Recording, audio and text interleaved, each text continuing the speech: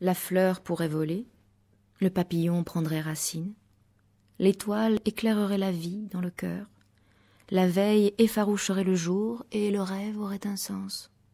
Tout est possible, peu importe. L'indifférence est la haute pensée qui règle le cours des événements.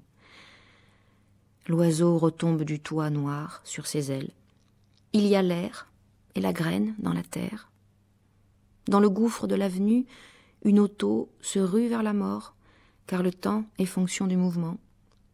L'homme à qui d'abord il fallut plaire, puis s'attacher comme une obsession, était insemblable, refermé sur lui-même. Le tigre écorche chaque jour la chèvre, réalisant en paix la mission de sa vie, ce qu'on nomme un instrument de la nature. L'amour cherche et trouve sa proie, et l'inévitable n'est que hasard.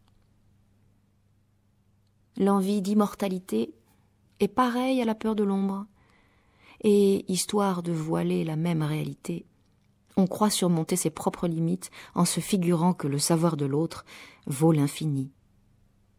J'énumère de désagréables évidences. Il semble pourtant que le plus vrai ne soit pas encore énoncé, ou alors je me dupe encore.